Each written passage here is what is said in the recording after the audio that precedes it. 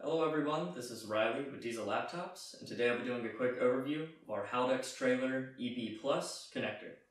The part number for this connector will be 3151-T15A.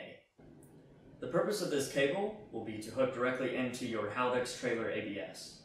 As you'll see, one end of the connector is a long 4-pin round connector, and the other will be a circular 28-pin connector. The 4-pin will hook directly into the Haldex trailer ABS, and the other will hook into the Texa power pack. Now this is an additional cable you will have to purchase. As you can see on screen, I'll show you a demonstration of hooking the round 28-pin into the power pack, then into the TXT box. Once that connection is made, you can successfully diagnose your Haldex trailer ABS.